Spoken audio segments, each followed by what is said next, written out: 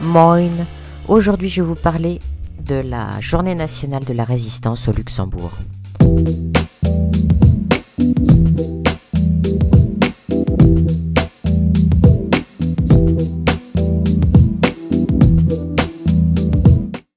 Le 25 février 1944, 23 résistants luxembourgeois furent assassinés dans le SS Zonderlag 47 Insert, situé à 80 km de Luxembourgville.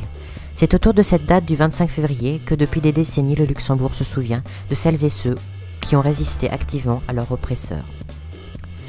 En effet, ces 23 résistants assassinés représentent symboliquement toutes les personnes qui ont péri parce qu'elles avaient à cœur de préserver les libertés démocratiques de leur pays. En tout et pour tout, 1586 luxembourgeois ont été déportés au seul camp de Insert. 76 y sont morts et un nombre important des autres a été déporté de Insert dans des camps de concentration nazis en Allemagne, France, Autriche, etc. La résistance ayant été une décision individuelle prise dans des conditions périlleuses interdisant toute publicité, on est longtemps resté dans l'ignorance des chiffres réels. La journée nationale de la résistance remonte à une initiative des surveillants, des survivants elle a eu et elle continue d'avoir pour mission de garder vivante la mémoire de ceux et celles qui n'ont pas survécu et d'autre part de rappeler à, nous autres qui, ont, qui avons l'heure de vivre en liberté ce qu'il peut en coûter d'affirmer sous un régime totalitaire ce droit à la liberté.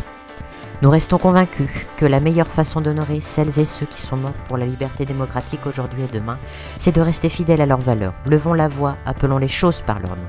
Chaque fois que les droits de l'homme sont, sont, niés, chaque fois que le droit fondamental à la vie, à la liberté, à la sûreté de sa personne est nié, il faut opposer aux bourreaux et aux fossoyeurs des valeurs démocratiques essentielles à un non catégorique.